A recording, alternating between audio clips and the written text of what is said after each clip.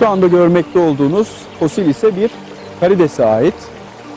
Bu karides fosili Almanya'nın Solnhofen-Eichstätt bölgesinde bulundu ve yaşı 155 milyon yıl olarak tespit edildi. Yine son derece açık ve net bir şekilde görülmektedir ki sahip olduğu tüm formasyon, tüm organlarıyla birlikte bugünkü yaşayan canlı örneklerinden hiçbir farkı yoktur.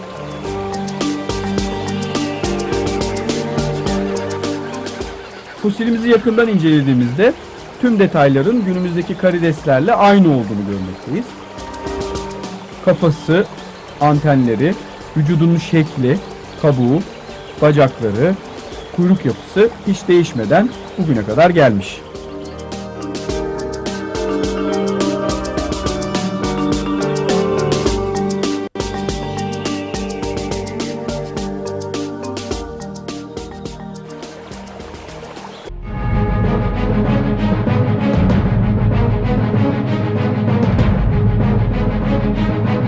Yaşayan fosiller bu canlıları milyonlarca yıl önce yaratmış ve günümüze kadar en mükemmel şekilleriyle korumuş tüm varlıkların yaratıcısı ve hakimi olan Allah'ın eseridirler. Tarih boyunca Darwinistlerin tüm korkuları bu açık gerçeğin gözler önüne serilmesi olmuştur. Ama artık bu açık ve tartışmasız gerçek tam anlamıyla gözler önündedir ve Darwinistlerin buna karşı gösterdikleri tüm çabalar boşa çıkmıştır. Hak olan karşısında batıl tamamen ortadan kalkmış, alemlerin Rabbi olan Allah büyüklüğünü ve yüce kudretini bir kez daha en mükemmel şekliyle sergilemiştir.